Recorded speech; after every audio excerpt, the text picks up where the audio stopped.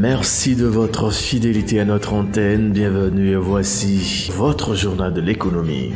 La banque islamique à la bourse égyptienne Al-Barka Bank Égypte a procédé le lundi 4 décembre dernier à la conclusion d'un accord de financement d'un montant de 50 millions de dollars US avec la Société financière internationale SFI.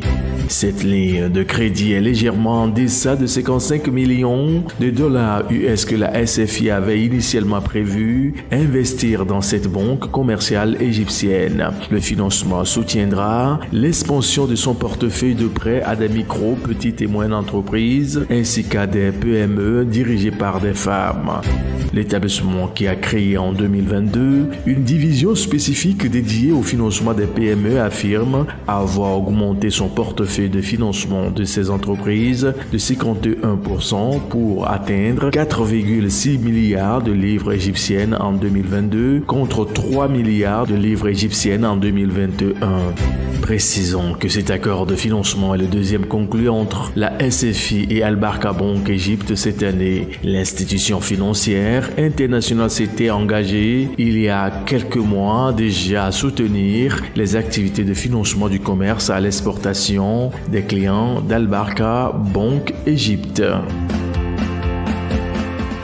Au point 2 de l'actualité économique de ce jour, le Ghana, où l'Office national du coco intensifie les efforts de lutte contre la contrebande de coco à travers les frontières en prélude à la nouvelle campagne cacaoyère qui débute en ce mois de septembre.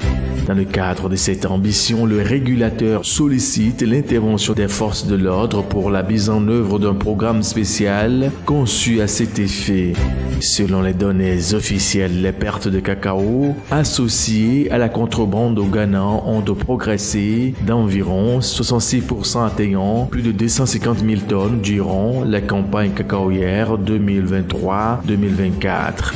Cette situation devrait occasionner un manque à gagner considérable pour le pays qui a également enregistré une baisse d'environ 37% de sa récolte à 425 000 tonnes sur la période considérée. Rappelons que dans l'Est Gold Coast, la filière cacao fournit environ 10% du PIB.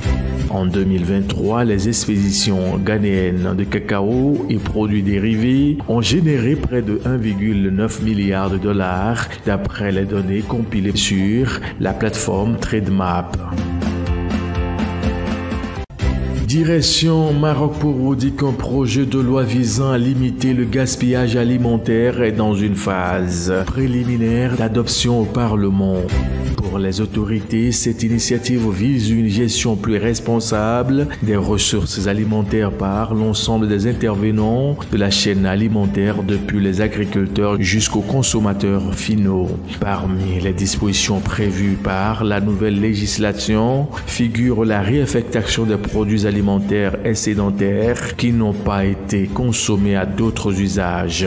Il est également prévu l'imposition en cas de gaspillage avéré d'une amende équivalente au double de la valeur marchande de la nourriture gaspillée par les contrevenants. Par ailleurs, l'Office national de sécurité sanitaire des produits alimentaires sera mandaté pour veiller à l'application de la loi.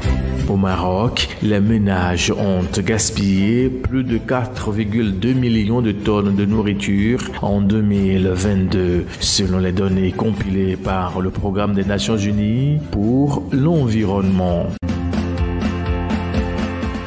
L'Organisation des pays exportateurs de pétrole et ses alliés, l'OPEP+, augmenteront bien le seuil de la production cumulée de brut d'environ 180 000 barils par jour, mais à partir de décembre et non plus d'octobre comme cela avait été annoncé il y a quelques jours.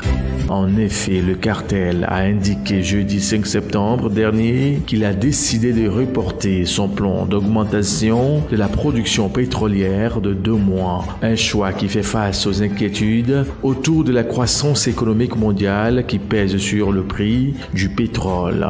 Ceci signifie donc les réductions volontaires de production qui engagent actuellement l'Arabie saoudite, la Russie, l'Irak, les Émirats arabes unis, le Koweït, le Kazakhstan, l'Algérie et Oman sont maintenus jusqu'à fin du mois de novembre.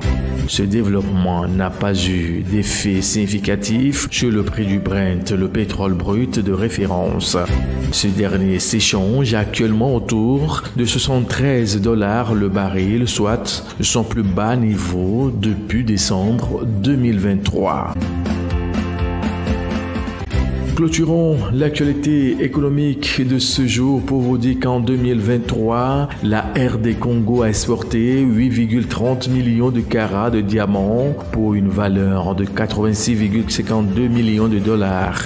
C'est du moins ce que rapporte le processus de Kimberley dans son rapport 2023 publié le mois dernier révélant une baisse de 40% en glissement annuel de la valeur des exportations.